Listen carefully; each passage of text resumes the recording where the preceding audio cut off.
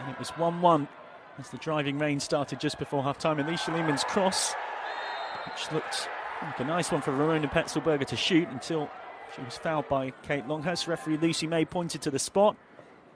And against her old club, Lehman finished it off really well. Her second goal of the season. Only West Ham